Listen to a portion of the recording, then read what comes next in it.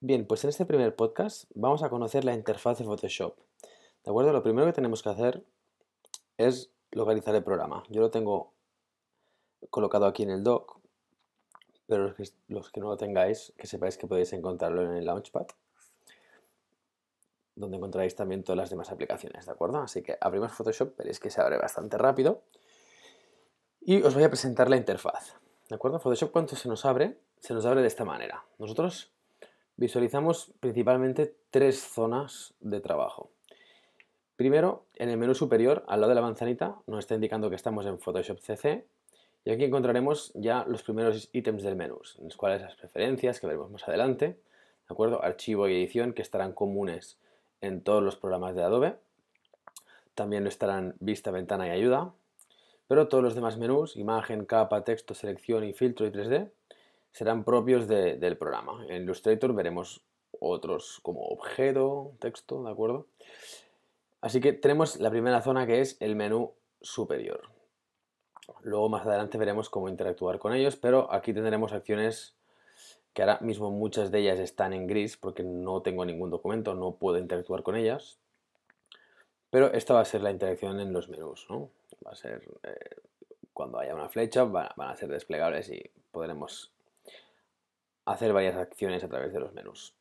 Inmediatamente después del menú encontramos una barra de opciones. Esta barra nos muestra opciones de la herramienta que tenemos seleccionada. Fijaros como yo, cuando yo cambio de herramienta se cambia la barra de opciones. ¿De acuerdo? Por decirlo de otra manera, la barra de opciones me indica el comportamiento de cada herramienta. ¿De acuerdo? Y luego a la derecha tenemos los paneles. ¿De acuerdo? Son, son una especie de herramientas, pero que no se aplican directamente sobre la imagen, sino que también se interactúa con ellos y se, crean diferentes funciones que veremos más adelante, ¿de acuerdo? Ahora mismo los tengo todos inhabilitados, dado que, como he dicho antes, no tengo ningún documento. ¿De acuerdo? Por tanto, tenemos menú superior, barra de opciones que va en relación a la herramienta y los paneles. ¿De acuerdo? Tanto paneles como herramientas los encontramos distribuidos de esta manera. Pero yo me lo puedo distribuir como a mí me parezca. De entrada nos va a venir así y es una buena opción dejarlo así. Pero os fijáis en esta doble flechita que tienen las herramientas y que también tienen los paneles. Pues esto significa que yo puedo expandir y contraer los paneles para visualizar lo que hay en su interior.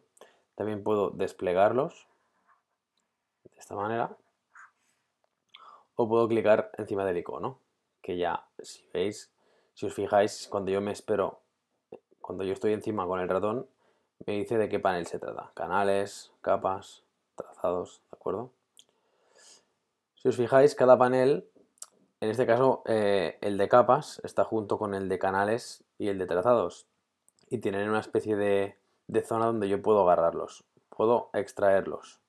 Igual que puedo extraer cada uno de ellos y me los puedo situar como a mí me parezca. Cuando salga azul, querrá decir que el panel se adapta a esa zona. ¿De acuerdo? Los puedo reorganizar.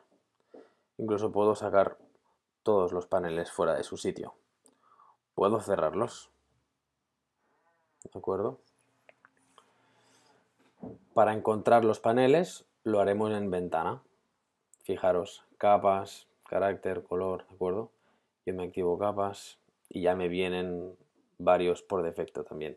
Cuando activemos un panel es posible que se activen varios. ¿De acuerdo? Las herramientas lo mismo. Se pueden expandir, contraer, se pueden extraer y si las cierro, las encuentro en ventana, debajo de todo. ¿De acuerdo? Cuando yo las agarro y las acerco a la esquina, aparece la zona azul que quiere decir que se acopla. ¿De acuerdo? Bien, en el siguiente podcast seguiremos viendo aspectos relativos a la interfaz. Así que nos vemos ahora.